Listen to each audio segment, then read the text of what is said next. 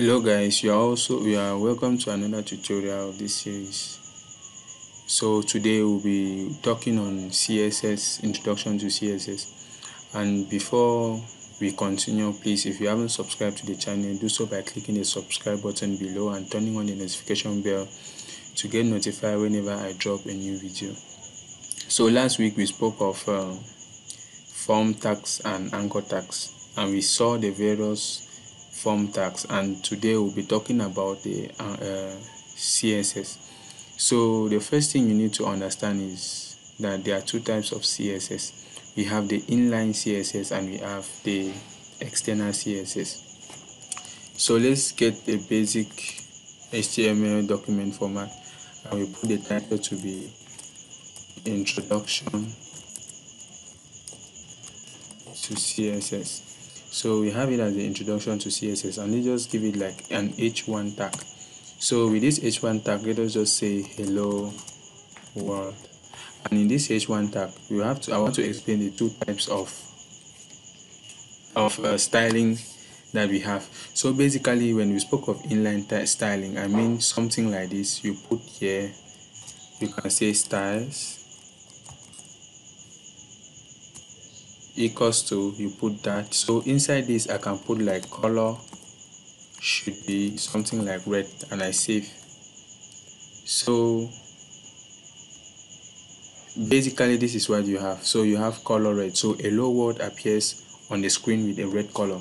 So maybe you wanted to change the font size. You can just say something like you can say something like font size should be let's say 4 rem. Your font size is 4 rem. So for rem is some like a measuring unit. You can use centimeters meters pixels for example.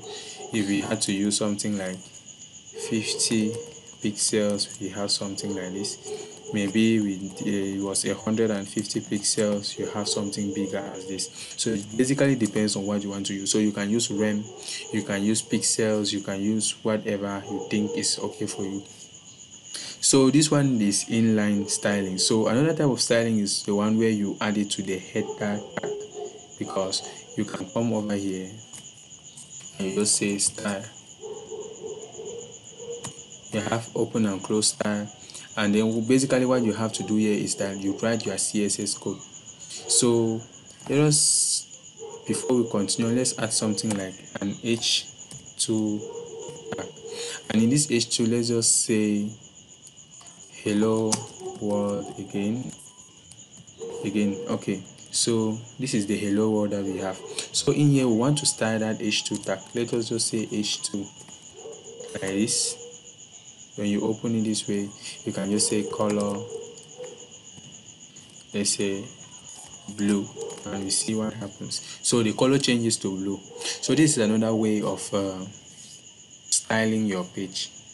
So what css does is css adds more functionality to your website. It makes it to look befitting and better. So it's just like the body of your website like it, it, it makes it to look good. So also another type of css that we have is like linking an external style sheet. So what you have to do is you have to create an external style sheet with a css and the extension.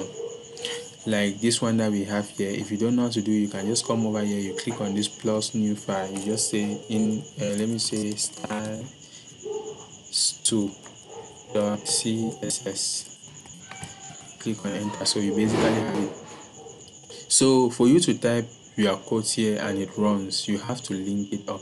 So how do you link it up? You come over here to the head region you come after the title you can put link something like this. So you have put link rel in rel you put equals to you open the two semicolons uh, sorry the inverted open and close you put style sheet.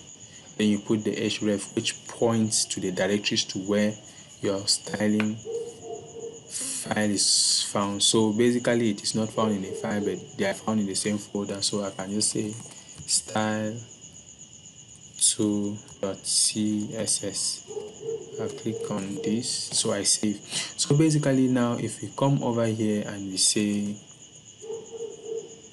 body you want to style the body you just say background color should be red let's just say something like this. This is what you see. So the body now has a red background color. So if you came here for example let's come over here and we like remove this. Sorry. So if we remove this and we kind of remove also the styling in here and we say we have this so now you can come over here and you change it. Like we don't want the background to be red. We just want a white background. I want it that every color should be blue. The color throughout the body should be blue. So you have that. Okay. So I have shown you guys so far how to link the different types of CSS and from this the inline css and the external css the external css is the best css why? Because you don't want something in case where you build your site and then somebody comes in and can see all the styling in which you use for your website. And also it gets to make your codes look longer in the html in the index.html so the external styling is mostly used by most coders or programmers. So now we're to talk about uh, we're to talk about colors. So normally a color now so for you to like work on styles at times styling might uh, mostly work with classes. So you have to know how to use classes for so for example maybe your heading here you wanted that heading one should have something like a class of let me say it should be a blue a blue text. You just say class blue. So when you come to styling every class is in the css start with a dot. Then you put the class name blue. So one day color of this guy to be pink. So you save it. You see the color changes to pink. So classes actually points to specific elements. So we have pointed to a specific element for example let us create another h1 tag and see something. So still have h1 and we say hello world and we control s. You see another hello world i've added here. It's an h1 tag but it doesn't have what the pink color. But this one also is an h1 tag but has the pink color. But if we were doing inline styling here for example we gave like an inline styling for an h1 maybe it can just work for all of them or we did external. So here basically this is how this one works. So you can choose different types of colors that you want for a particular design you want. For example you want it to have a background color of maybe let's say purple something like this. And then you just want it to like with the background color purple you just want it to be um the width should be auto mm, okay let's just allow it that way. So it basically takes the maximum space in which it is supposed to take. So when you talk about the background color now it determines what is on the background. We can like there are many uh, css styling that you learn along the way. Something like want to align the text to center you say text stroke align. We can talk about center and we have that positioned at the center. So basically they are just colors like for example let's try to make a dot. Green class I will just say color you say green. So oh this gray let's say green something like this. And we'll come over here and then we just give it a class of green so we save it. Um so double e. Save so you see the second heading here changes to green. So basically for you to add color you have to point to the specific element in which you want to you want the change to occur. So you see you can make good use of classes in css so the next thing we're going to be talking about here is font size. So font size basically is the size of the text or the size of an element. For example if you want the this particular heading to have a font size of about 50 pixels it can be 50 pixels.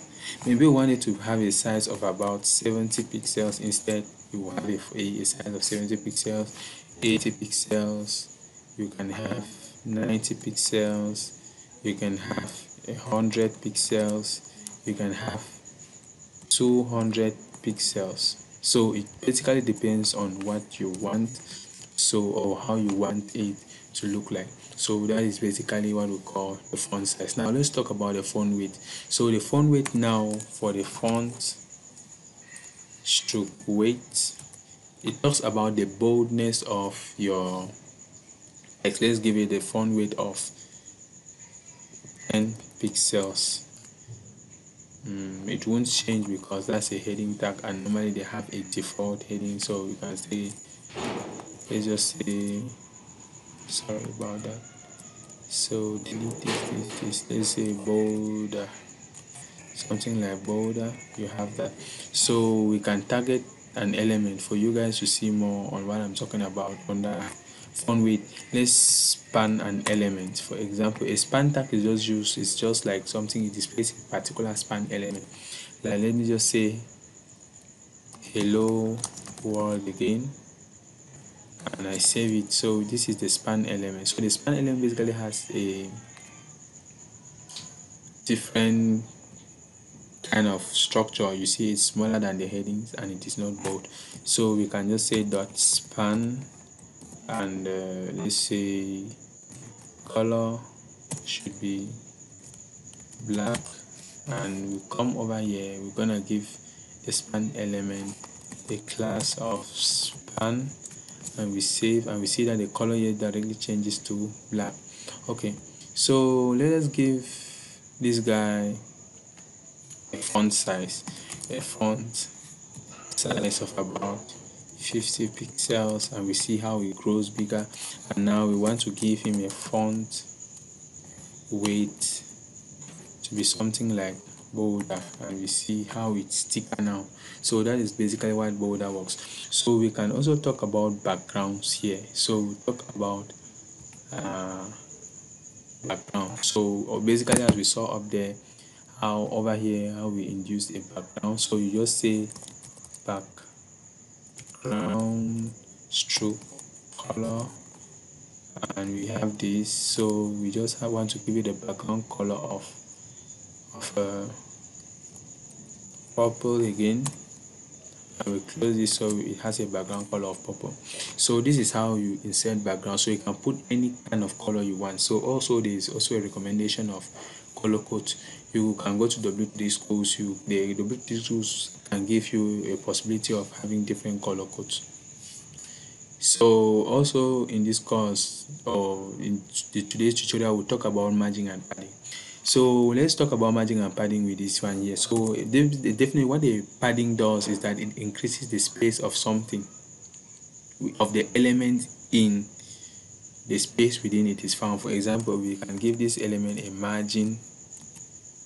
So it can be margin top left bottom or any way you want it. So let me just give a whole margin. So we introduce a margin of 10 pixels. Let's see what happens. So it tilts towards itself something like a string. So let me put it at a hundred pixels.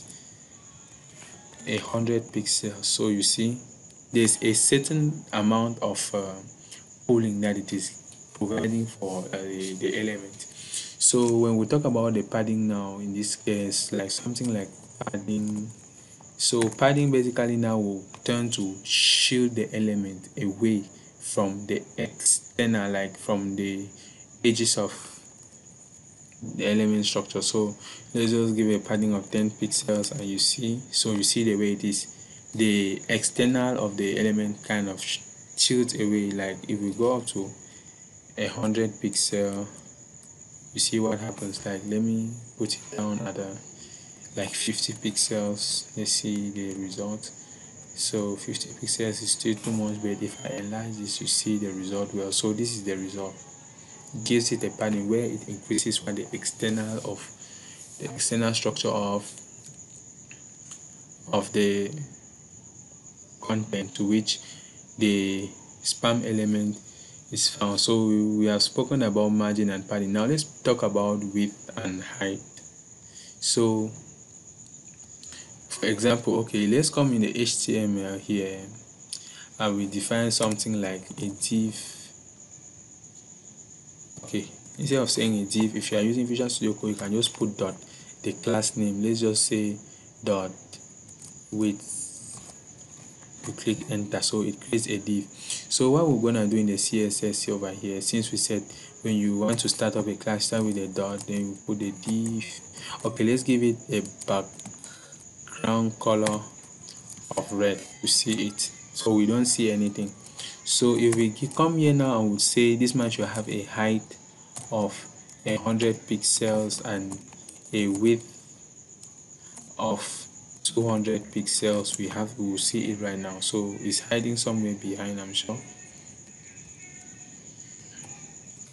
Okay. So let's come over here.